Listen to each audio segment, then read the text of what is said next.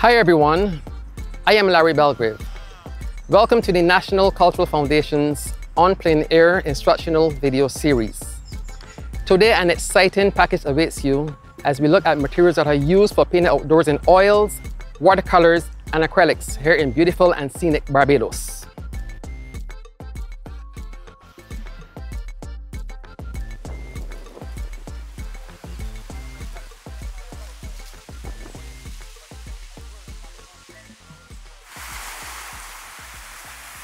Let us now take a look at materials that are used for watercolors.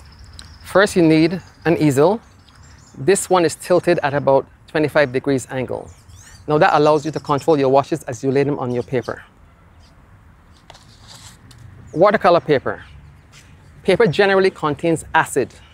And what happens over time, the acidic nature breaks down and blotches start to show through your paper. This is acid free. Masking tape is used to affix your paper to your drawing board. Your palettes are used for mixing your colors. We have various brushes here. The very large ones are used for laying large washes and painting over big areas. You can vary your brushes as you go along. The very small ones are used for very minute details and are generally used at the end of your painting. Now, paints.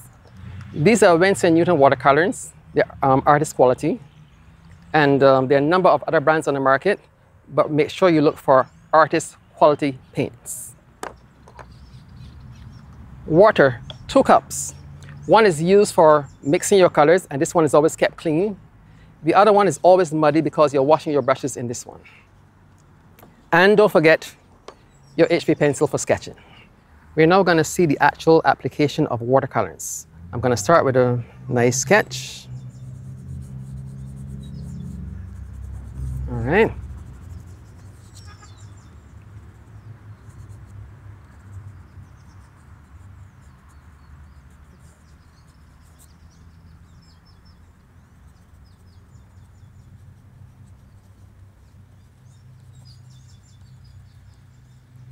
This is going to be the clouds and sky. This is going to be water and the sand. This is a beach scene. Before I actually apply my washes, I'm just going to wet my paper slightly. Lay just a wash of water. And once the paints are now applied, they tend to run loosely.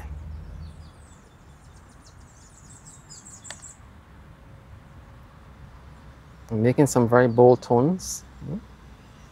Once they are wet, you can always use some water to keep them nice and soft. Nice and soft.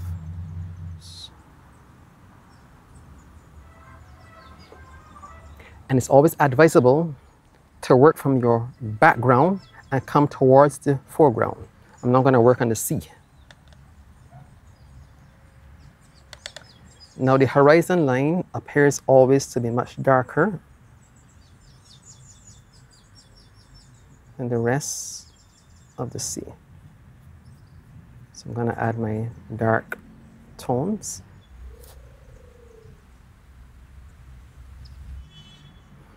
And those white blushes in there are your waves. I'm going to look at the trees. First, I'm going to apply my light tones with yellow.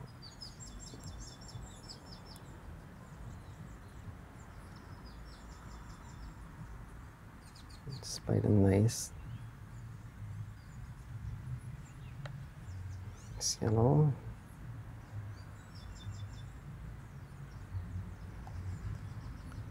Again, you have to identify your source of light. The light is falling from this direction everything in the path of the light will be much lighter than that which is being obscured. Now for time's sake, I'm just going to lay my sun, my yellow ochre. Okay. Just going to soften it with some water. Nice and soft.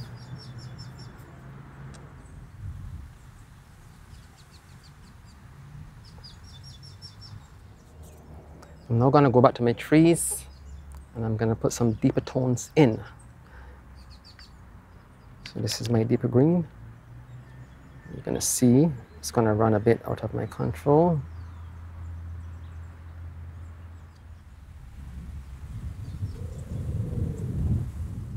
I'm to add another tree here, going into this one. Making it really light, the yellows.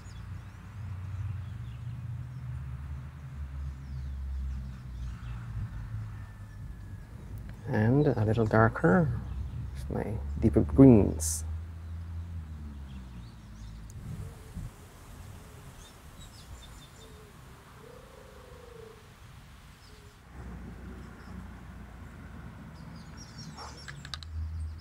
Okay, now that conclude our look at watercolors. We now turn our attention to oils. We need a very sturdy easel. This one stands vertically.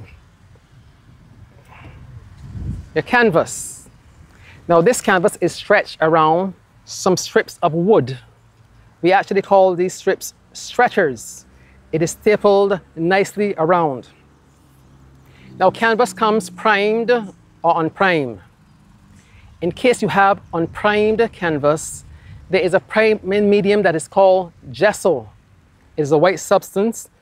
You put at least three coats on top of that raw canvas. And what that does, it stops the oil paints from actually destroying the canvas.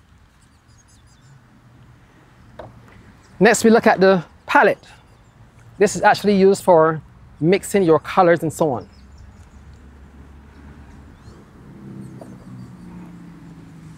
Your oil colors, there are various brands on the market. You can choose the one that you have a preference for. Brushes, again, big brushes are for large applications and smaller brushes are for very minute details.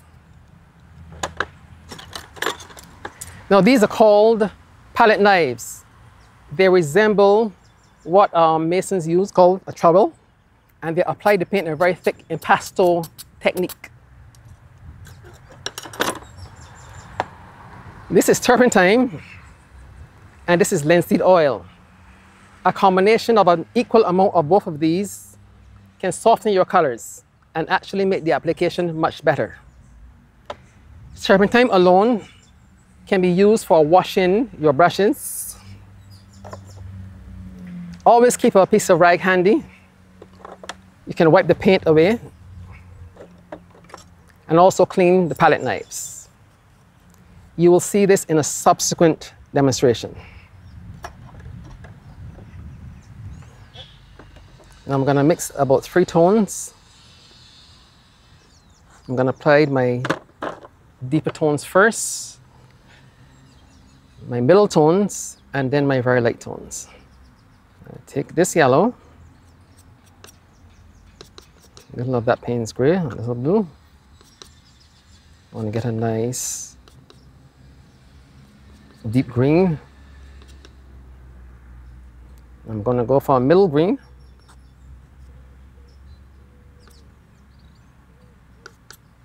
Mm, not too much blue.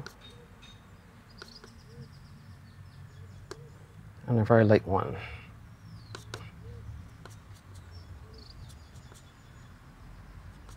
So right now I have at least about three different tones.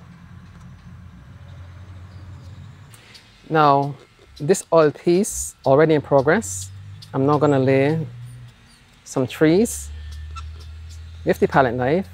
Remember, it works like a trowel. And I'm applying my deeper tones first. Yeah. Then my middle tones will go on top you can actually see the thickness of the paint. And uh, this takes much longer to be thoroughly dried as opposed to the actual brushwork. Now with oils, it is always best to put lean on, to put fat on top of lean, sorry. So your deeper tones, stronger tones, first. All right. And your lighter tones after. Now the whole concept of lean and fat means that your underpainting is painting very thin and your overpainting is much thicker. This ensures that um, the fat, which is the thicker aspect of the paint, dries